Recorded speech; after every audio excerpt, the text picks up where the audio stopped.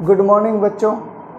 देखिए, हमने अभी तक दो क्लासें हमने टॉपिक की पढ़ी हैं यूनिट एंड मेज़रमेंट मात्रक एवं मात्रक एवं मापन। देखिए, ये फिज़िक्स का मैंने पहले भी कहा था, सबसे ज़्यादा फंडामेंटल और ज़रूरी टॉपिक है। ज़रूरी क्यों है? हमें कुछ बेसिक जानकारी चाहिए होती है, जो अक्सर ही पूछी जाती है और काम में हमारे आती है। तो हम बात कर रहे थे एसआई पद्धति एसआई जो यूनिट पद्धति है ठीक है, उसके बारे में हमने कहा था एसआई पद्धति क्या है, पिछली क्लास में बात कर चुके हैं। और एसआई पद्धति में मात्रकों के तीन प्रकार होते हैं, मूल मात्रक, पूरक मात्रक और व्युत्पन्न मात्रक। हमने पिछली क्लास में सात और महत्वपूर्ण मूल मात्रकों के बारे में बात की। दूरी का मात्रक लेंथ होता, दूरी यानी लेंथ लेंथ का मात्रक होता है मीटर। ठीक है, उसका विमेय सूत्र भी लिखा था।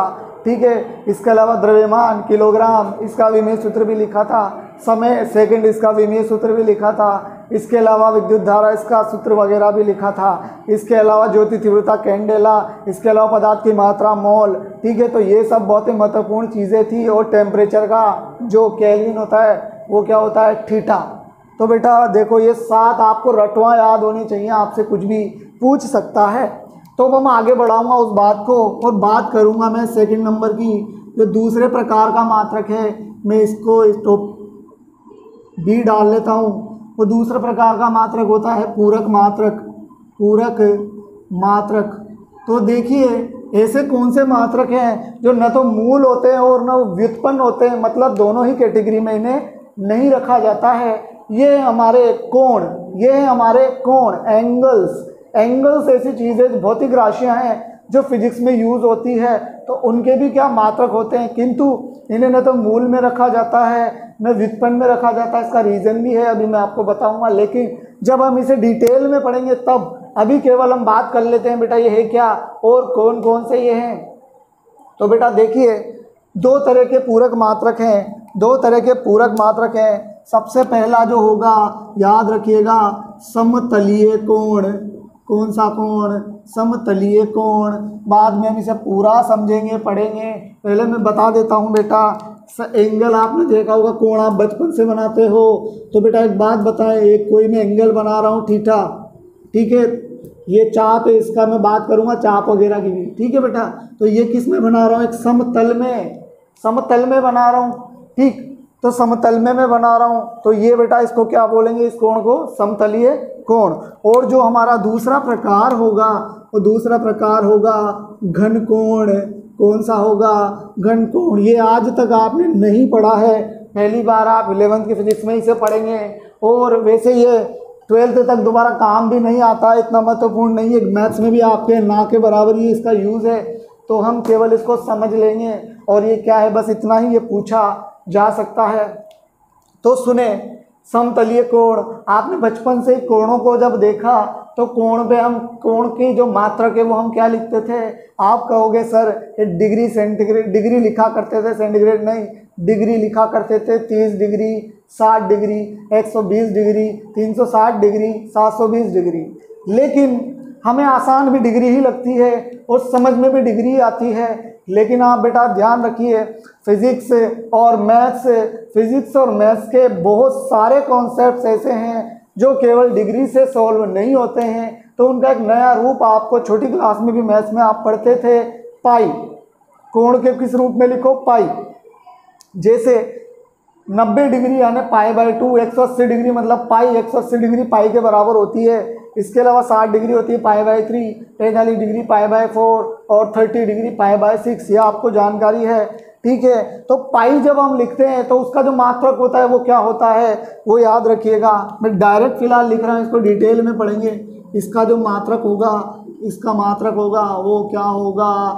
पाई के पीछे लगता है रेडियन, क्या लगता है? रेडियन। याद रखिए, क्या लगता है बेटे? रेडियन लगता है। ठीक, और इसका जो प्रतीक है, रेडियन का जो प्रतीक हम यूज़ करते हैं, वो करेंगे, वो क्या होगा? Small R A D. तो जब समतलीय कोण नापेंगे तो उसका मात्रक क्या होगा? पाई रेडियन, या आप सिर्फ़ रेडियन बोलो। जब मैं आगे आपको घन कोण पढ़ाऊँगा, अभी पढ़ाऊँगा जब मात्रकों की परिभाषाएँ चालू होंगी, तभी से दोबारा टॉपिक डाल के पढ़ेंगे। तो जो घन कोण होगा, वो बाद में समझाऊँगा बेटा पूरा। उसका जो मात्रक है, वो होगा स्टेरेडियन क्या होगा? स्टेरेडियन और उसका जो, क्या होगा बेटे? प्रतीक। प्रतीक होगा, उसको बोलते हैं स्मॉल एस आर स्टेरेडियन ना के बराबर यूज़ होता है, होगा भी नहीं मेरे हिसाब से। बहुत कम चांस है कि इसके अपन पढ़ें कभी जीवन में। तो इसको ज़्यादा महत्व हमें देना भी नहीं है। तो ये जो दो थे, वो क्या थे? पूरक मात्रक। अब इसके अलावा हमारे कहीं क्या होते हैं, कहीं क्या होते हैं? व्युत्पन्न मात्रक। अब व्युत्पन्न मात्रक बेटा, एक, दो नहीं, हज़ारों हैं। व्युत्पन्न मात्रक क्यों? बचे हुए सारे क्या कहलाते हैं? व्युत्पन्न मात्रक। बचे हुए सभी क्या कहलाते हैं? व्युत्पन्न मात्रक तो बेटा, मैं दो चार उदाहरण दे दूँ, कहाँ चल जाएगा? पूरे तो अपन पढ़ेंगे नहीं, लेकिन हमें आइडिया हो जाएगा।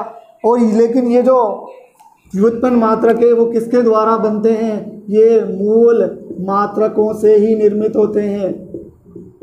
किससे निर्मित? या इसको कोष्टक हटा के लिख देता हूँ। मूल मात्रकों से ही क्या होते हैं? निर्मित होते हैं। पहले भी लिख चुके इसलिए मैंने चार वर्ड्स में इसको कंप्लीट कर दिया। तो कुछ उदाहरण मैं ले लेता हूँ, कुछ उदाहरण में ले लेता हूँ, वो ले लेता हूँ, एक ले लेता हूँ, मैंने पहले ही बताया था बल। बल क्या होता है? बल बल का जो मात्रक है, बल का, पहला उदाहरण ले लेता हूँ, बल का मात्रक, वो तो होता है न्यूटन। क्या होता है? न्यूटन। लेकिन ये बना कैसे? बना कैसे? एफ़ बराबर एम जी या एफ़ बराबर एम ए भी ले सकते हो आप। ए त्वरण एफ़ बराबर एम ए ठीक है एम का जो मात्रक है एम का मात्रक है वो क्या होगा? किलोग्राम। इसका क्या होता है? मीटर पर सेकंड स्क्वायर। तो इसको कैसे लिखेंगे? मीटर पर सेकंड स्क्वायर। बेटा सुनो, ये बटे का सेकंड स्क्वायर आप ऊपर भी ले जा सकते हो। इसको लिख सकते हैं kilogram, metre, second, two inverse या माइनस टू। तो दोबारा समझ लो, क्या हुआ? एफ़ मीटर एम यानी द्रव्यमान। द्रव्यमान का क्या होता है? किलोग्राम। और त्वरण, ए मतलब त्वरण। त्वरण का क्या होता है? मीटर पर सेकंड स्क्वायर। किसी को पता नहीं हो बेटा, याद कर लो इसको, समझ लो अच्छे से। ठीक है? चलो, दूसरा उदाहरण मैं ले लेता हूँ बेटा, कार्य का। क्या ले लेता हूँ? कार्य का। तो कार्य का मात्रक होता है बेटा, जूल होता है। क्या होता है? जूल होता है। लेकिन ये बना किससे है? ये भी सारे व्युत्पन्न मात्रकों से ही है सॉरी मूल मात्रकों से बनते हैं बेटा इसमें देखो। किलोग्राम मीटर और सेकंड, तीनों क्या है? मोल मात्रक। तो जूल क्या? उदाहरण के तौर पर मैं एक फॉर्मूला बना देता हूँ। W बराबर बल इंटू बल की दिशा में विस्थापन में, मैं एफ़ एस लिख देता हूँ। ठीक है? बल का मात्रक ये रहा kilogram metre kilogram metre second minus two. ठीक है? साथ में क्या आ जाएगा? दूरी। ये क्या होता है? विस्थापन। विस्थापन का क्या होता है? मीटर। तो इसको लिखेंगे कैसे? लिखेंगे कैसे? ध्यान दीजिएगा। तो इसको लिखेंगे किलोग्राम, मीटर मीटर और metre metre square into second inverse तो बेटा इसका मात्रक भी क्या हो गया? इन्हीं से बना। इसके अलावा कई सारे हमारे पास मौजूद हैं। देखिए, चलो एक और ले लेता हूँ मैं। सिंपल सा ले लेता हूँ गुलाम क्या ले लेता हूँ बेटा? आवेश। आवेश का मात्रक क्या है? आपको पता है गुलाम है। क्या है? गुलाम सी। लेकिन बेटा एक बात बताओ क्या इसको गुलाम को मैं क्यू बराबर आई टी नहीं लिखता हूँ क्या? एक आई का मतलब क्या होता है? एम्पियर और टी का मतलब होता है सेकंड इसका मतलब है एम्पियर सेकंड ठीक है? तो आप जैसे चाहें इसको लिख लें स्क्रीनशॉट ले लें और उतार लें। मैंने थोड़ा समझाने की कोशिश की है।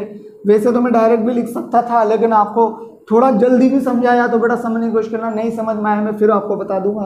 तो आप ये देख ले वित्पन्न मात्रक तक। अब हम तीनों मात्रक के प्रकार पढ़ लिए।